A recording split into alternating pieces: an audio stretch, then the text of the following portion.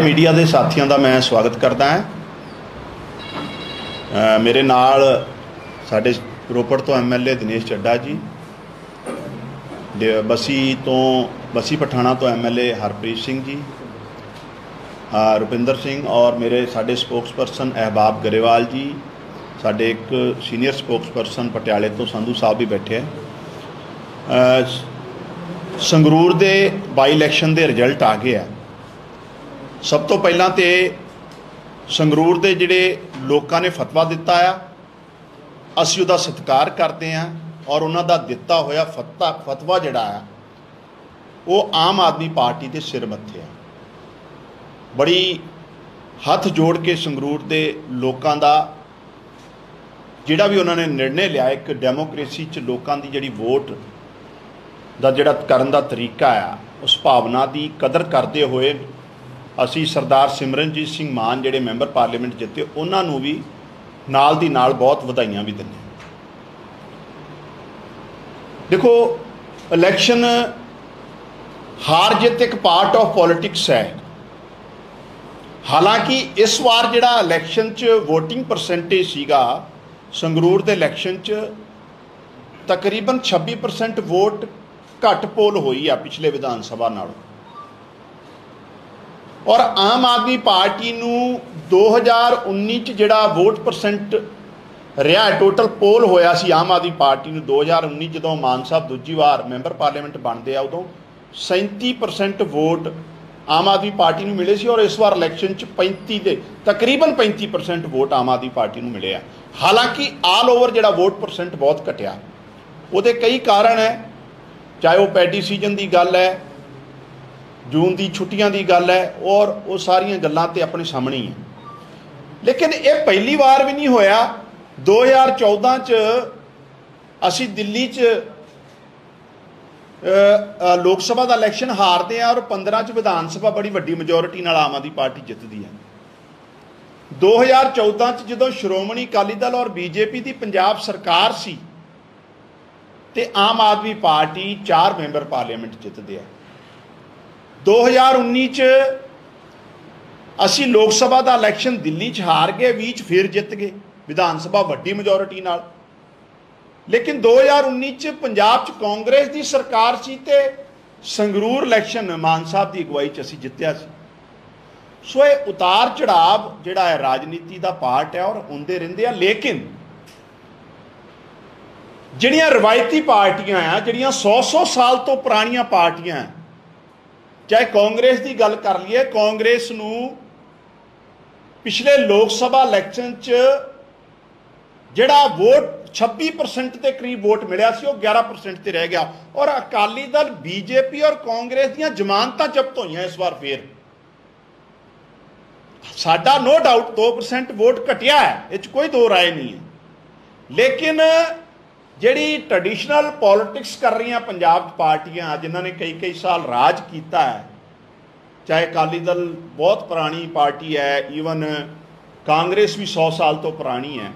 ਕੌਂ ਕੌਂ ਔਰ ਬੀਜੇਪੀ। ਚਲੋ, ਬੀਜੇਪੀ ਦਾ ਬਹੁਤ ਵੱਡਾ ਕੋਈ ਆਧਾਰ ਹੈ ਨਹੀਂ। ਤਿੰਨਾਂ ਨੂੰ ਲੋਕਾਂ ਨੇ ਜ਼ਮਾਨਤਾਂ ਜ਼ਬਤ ਕਰਾਈਆਂ ਔਰ ਜਿੱਥੇ ਕਾਂਗਰਸ ਨੂੰ 2019 ਚ 3 ਲੱਖ ਦੇ ਕਰੀਬ ਵੋਟ ਮਿਲੇ ਆ, ਤੇ ਹੁਣ 80000 ਦੇ ਲਾਗੇ ਛਾਗੇ ਰਹਿ ਗਏ।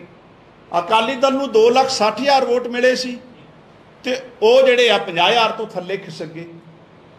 ਸੋ ਆਲ ਓਵਰ ਸਿਨੈਰੀਓ ਜਿਹੜਾ ਆ, ਜਿਹੜੀਆਂ ਪੋਲੀਟੀਕਲ ਆਰਗੇਨਾਈਜੇਸ਼ਨ ਜਾਂ ਪਾਰਟੀਆਂ ਨਾਲ ਸਾਡਾ ਕੰਪੀਟੀਸ਼ਨ ਹੈ ਉਹਦੇ ਮੁਕਾਬਲੇ ਆਮ ਆਦਮੀ ਪਾਰਟੀ ਨੇ ਬਿਹਤਰ ਸਥਿਤੀ 'ਚ ਲੋਕਾਂ ਦਾ ਦਿਲ ਜਿੱਤਿਆ। ਲੇਕਿਨ ਇਹਦੇ 'ਚ ਕੋਈ ਦੋ ਰਾਏ ਨਹੀਂ ਹੈ।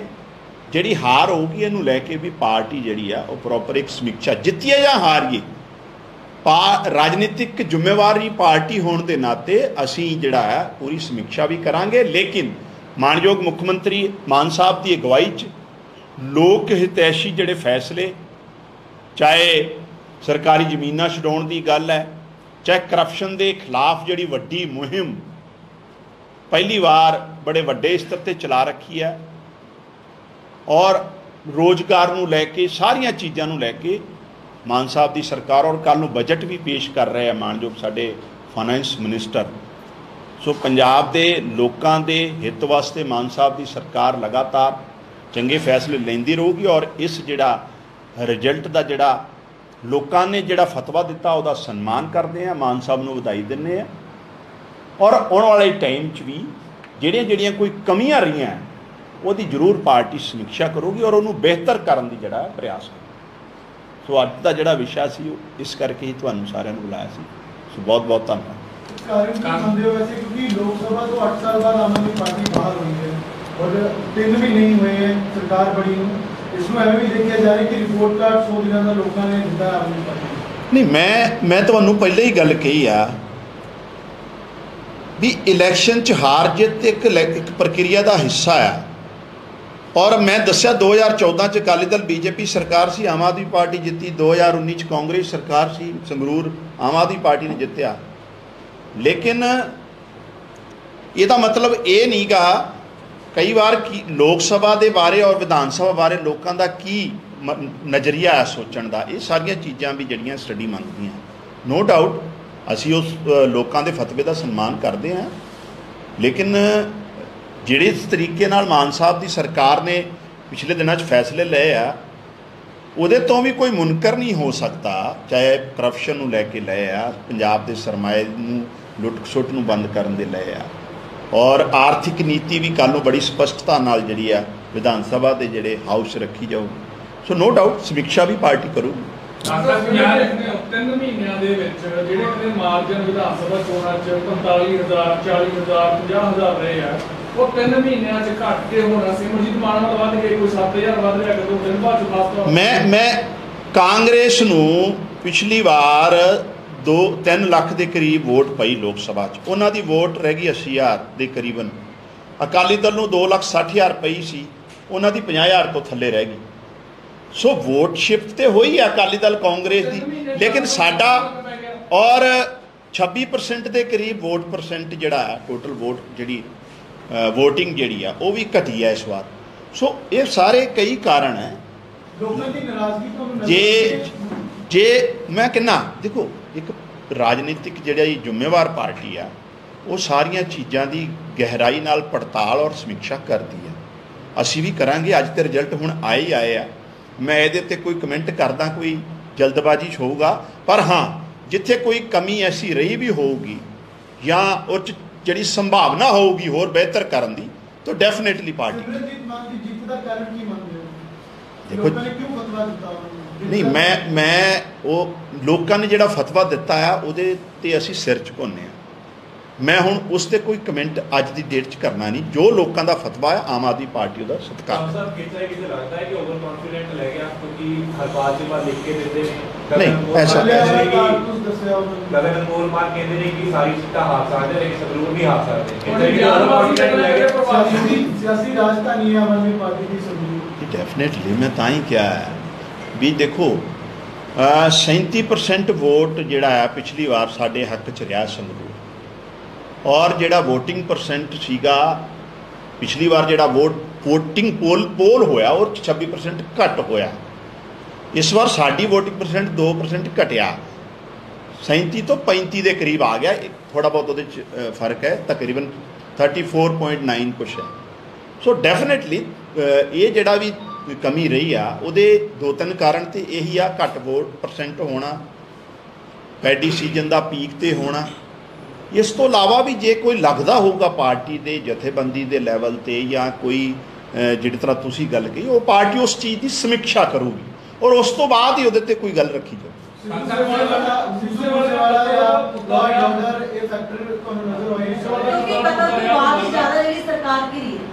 ਨਹੀਂ, ਦੇਖੋ, ਉਹ ਤੇ ਬੜੀ ਦਰਦਨਾਕ ਮੌਤ ਹੋਈ ਆ। ਆਲਰੇਡੀ ਉਹਦੇ ਤੇ ਸਾਰੀ ਕਾਰਵਾਈ ਵੀ ਸੰਜੀਦਗੀ ਨਾਲ ਚੱਲ ਰਹੀ ਆ। ਔਰ ਅਸੀਂ ਤੇ ਉਹ ਇਹ ਗੱਲ ਕਹਿੰਦੇ ਨਹੀਂ ਵੀ ਇਹ ਚੀਜ਼ਾਂ ਹਟ- ਹੋਣੀਆਂ ਚਾਹੀਦੀਆਂ। ਹਾਲਾਂਕਿ ਇਹ ਕੋਈ ਪੰਜਾਬ 'ਚ ਪਹਿਲੀ ਘਟਨਾ ਨਹੀਂ ਹੋਈ ਸੀ, ਲੇਕਿਨ ਇਹ ਘਟਨਾ ਨਹੀਂ ਹੋਣੀਆਂ ਚਾਹੀਦੀਆਂ। ਇਸ ਕਰਕੇ ਹੀ ਮਾਨ ਸਾਹਿਬ ਨੇ ਐਂਟੀ ਗੈਂਗਸਟਰ ਟਾਸਕ ਫੋਰਸ ਦੀ ਵੀ ਨਿਯੁ- ਜਿਹੜੀ ਹੈ, ਸਥਾਪਨਾ ਕੀਤੀ। ਔਰ ਇਹਦੇ ਤੇ ਜਿਹੜੇ ਜਿਹੜੇ ਮੇਨ ਮਾਸਟਰਮਾਈਂਡ ਹੈ, ਚਾਹੇ ਪਟਿਆਲੇ ਦੀ ਗੱਲ ਕਰ ਲਓ ਜਾਂ ਸਿੱਧੂ ਸਾਹਿਬ ਦੇ ਮੌਤ ਦੀ ਗੱਲ ਕਰ ਲਓ, ਉਹਨਾਂ ਨੂੰ ਅਰੈਸਟ ਵੀ ਕੀਤਾ ਰਿਮਾਂਡ ਤੇ ਵੀ ਲੈ ਗਿਆ। ਸਰਕਾਰ ਉਸ ਚੀਜ਼ ਦਿਸ਼ਾ 'ਚ ਬਹੁਤ ਜਿਹੜੀ ਗੰਭੀਰਤਾ ਨਾਲ ਕੰਮ ਕਰ ਰਹੀ। ਆਉਣ ਵਾਲੇ ਟਾਈਮ 'ਚ ਇਹ ਚੀਜ਼ਾਂ ਤੇ ਆਰਗੇਨਾਈਜ਼ ਕ੍ਰਾਈਮ ਜਿਹੜਾ ਹੈ ਮੈਨੂੰ ਲੱਗਦਾ ਉੱਥੇ ਠੱਲ ਪਊ ਬੀਜੇਪੀ ਨੇ ਬੀਜੇਪੀ ਨੇ ਮੋਰਲ ਗਰਾਊਂਡ ਤੇ ਅਸਤੀਫਾ ਮੰਗਿਆ ਭਗਵੰਤ ਮਾਨ ਕੋਲ। ਦੇਖੋ ਮੈਨੂੰ ਨਹੀਂ ਲੱਗਦਾ ਬੀਜੇਪੀ ਦਾ ਆਪਣਾ ਕੀ ਮੋਰਲ ਗਰਾਊਂਡ ਹੈ ਜਿਹੜੇ ਆਪ ਉੱਥੇ ਖਰੀਦਾ ਫਰੋਖਤ 'ਚ ਲੱਗੇ ਹੋਏ ਆ ਮਹਾਰਾਸ਼ਟਰ 'ਚ ਇੱਕ ਚੁਣੀ ਹੋਈ ਸਰਕਾਰ ਨੂੰ ਸੋ ਔਰ ਜਿਨ੍ਹਾਂ ਦੀਆਂ ਸੰਗਰੂਰ ਦੇ ਲੋਕਾਂ ਨੇ ਜ਼ਮਾਨਤਾਂ ਜ਼ਬਤ ਕਰਾਤੀਆਂ ਇਹ ਇਹ ਕਿੱਥੋਂ, ਇਹਨਾਂ ਦੀ, ਇਹ ਆਪਣੀ ਜ਼ਮੀਨ ਕਿੱਥੋਂ ਤਲਾਸ਼ ਰਹੇ ਆ ਨਾ? ਇਹਨਾਂ, ਚਾਹੇ ਅਕਾਲੀ ਦਲ ਹੈ, ਚਾਹੇ ਬੀਜੇਪੀ ਹੈ, ਜਾਂ ਕਾਂਗਰਸ ਹੈ, ਇਹਨਾਂ ਦਾ ਤੇ ਜ਼ਮਾਨਤਾਂ ਜ਼ਬਤ ਹੋਈਆਂ ਨਾ। ਸੋ ਇਹ ਤੇ ਕਿਸੇ ਪਾਸੋਂ ਨਾ ਇਹ ਸੋਚਣ ਵੀ ਕੋਈ ਲੋਕਾਂ ਵੱਲੋਂ ਇਹਨਾਂ ਨੂੰ ਕੋਈ ਹੰਗਾਰਾ ਮਿਲਿਆ, ਜਾਂ ਇਹਨਾਂ ਦੀ ਕੋਈ ਸਥਿਤੀ ਇੰਪਰੂਵ ਹੋਈ ਹੈ ਉਹਦੇ ਤੇ ਕੋਈ ਕਿਸੇ ਤਰ੍ਹਾਂ ਦਾ ਕੋਈ ਚਾਂਸ ਹੀ ਨਹੀਂ ਹੈ ਆਮ ਆਦਮੀ ਪਾਰਟੀ 'ਚ, ਆਮ ਆਦਮੀ ਪਾਰਟੀ ਦੀ ਗੱਲ ਮੈਂ ਸਾਰੀ ਰੱਖਤੀ। ਕਿ 2% ਸਾਡਾ ਵੋਟ ਪਿਛਲੀ ਵਾਰ ਨਾਲੋਂ ਘਟਿਆ ਹੈ ਤੇ ਇਹਦੇ 'ਚ ਹੋਰ ਬਿਹਤਰ ਕਿਤਰਾ ਕੀਤਾ ਜਾ ਸਕਦਾ ਪਾਰਟੀ ਉੱਤੇ ਡਿਟੇਲ 'ਚ ਜਿੱਤ ਦੇ ਕਰੀਬ ਕਿਤੇ ਸਿਮਰਜੀਤ ਮਾਨ ਆਉਂਦੇ ਨੇ ਔਰ ਇੱਕ ਘੰਟੇ ਦੇ ਵਿੱਚ YouTube ਤੋਂ ਗਾਣਾ ਜਿਹੜਾ ਸਿੱਧੂ ਮੂਸੇਵਾਲੇ ਦਾ ਹਟਦਾ ਹੈ। ਬੈਨ ਹੁੰਦਾ ਕਿ ਸਰਕਾਰ ਦੀ ਕੰਪਲੇਂਟ ਤੇ ਗਾਣਾ ਹਟਿਆ। ਇਹਨੂੰ ਕਿਸ ਨਜ਼ਰੀਏ ਨਾਲ ਮੈਨੂੰ ਉਹਦੇ ਬਾਰੇ ਸਵਾਲ ਤੁਹਾਡੇ ਦੇਖੋ ਤੇ ਵੀ ਚੱਕੇ ਜਾ ਰਹੇ। ਮੈਨੂੰ ਇਹਦੇ ਬਾਰੇ ਕੋਈ ਇਹਦੇ ਹਜੇ ਜਾਣਕਾਰੀ ਨਹੀਂ ਹੈ। ਤੁਸੀਂ ਦੱਸ ਰਹੇ ਹੋ ਮੈਂ ਅਥੈਂਟਿਕ ਮੇਰੇ ਕੋਲ ਕੋਈ ਜਾਣਕਾਰੀ ਨਹੀਂ ਹੈ। ਉਹਦੇ ਬਾਰੇ ਕੋਈ ਗੱਲ ਪਤਾ ਹੋਊਗੀ ਅਥੈਂਟਿਕ ਫਿਰ ਮੈਂ ਕਮੈਂਟ ਕਰ ਸਕਦਾ। ਹੁਣ ਤੁਹਾਡੇ ਨਾਲ ਰੂਬਰੂ ਹੋਣ ਦਾ ਮਕਸਦ ਸਿਰਫ ਤੇ ਸਿਰਫ ਸੰਗਰੂਰ ਦੇ ਜਿਹੜੇ ਰਿਜ਼ਲਟ ਆਏ ਆ ਉਹਦੇ ਬਾਰੇ। ਬਹੁਤ ਬਹੁਤ ਧੰਨਵਾਦ। ਇਹ ਇਹਨੂੰ ਲੈ ਕੇ ਚਿੰਤਨ ਸ਼ਿਵਨ ਹੋਊਗਾ ਕਿਤੇ ਨਾ ਕਿਤੇ ਕਿਉਂਕਿ ਇੱਕ Sorry? ਮੌਜੂਦਾ ਸਰਕਾਰ ਹੋਣਾ ਚਿੰਤਨ ਸ਼ਿਵਨ ਹੋਊਗਾ ਇਹਨੂੰ ਲੈ ਕੇ ਕਿਉਂਕਿ ਮੌਜੂਦਾ ਸਰਕਾਰ ਹੋਣਾ। ਸੁਭਾਵਿਕ ਨਹੀਂ ਦੇਖੋ ਇੱਕ ਜਿਹੜਾ ਜ਼ਿੰਮੇਵਾਰੀ ਜ਼ਿੰਮੇਵਾਰ ਰਾਜਨੀਤਿਕ ਦਲ ਹੈ ਕੋਈ ਪਾਰਟੀ ਹੈ ਔਰ ਪਾਰਟੀਆਂ ਇੱਕ ਹਾਰ ਜਿੱਤ ਤੋਂ ਬੈਕਫੁੱਟ ਤੇ ਨਹੀਂ ਚਲੇ ਜਾਂਦੀਆਂ ਜਾਂ ਖਤਮ ਨਹੀਂ ਹੋ ਜਾਂਦੀਆਂ। ਲੇਕਿਨ ਨੋ ਡਾਊਟ 2% ਜਿਹੜਾ ਵੋਟ ਸਾਡਾ ਘਟਿਆ ਜਾਂ ਸਾਡੀ ਜਿਹੜੀ ਹਾਰ ਹੋਈ ਹੈ, ਉਹਦੇ ਬਾਰੇ ਜ਼ਰੂਰ ਇੱਕ ਜ਼ਿੰਮੇਵਾਰ ਰਾਜਨੀਤਿਕ ਦਲ ਸਮੀਖਿਆ ਕਰੂਗਾ, ਉਹ ਕਰਦੇ ਆ। ਅਸੀਂ ਜਿੱਤ ਤੋਂ ਬਾਅਦ ਵੀ ਕਰਦੇ ਆ ਤੇ ਹਾਰਨ ਤੋਂ ਬਾਅਦ ਵੀ ਕਰਾਂਗੇ। ਕੋਈ ਨੋ ਡਾਊਟ ਔਰ ਉਹਨੂੰ ਬਿਹਤਰ ਕਰਨ ਦੀ ਕੋਸ਼ਿਸ਼ ਕਰਾਂਗੇ। ਬਹੁਤ ਬਹੁਤ ਧੰਨਵਾਦ। ਸ਼ੁਕਰੀਆ।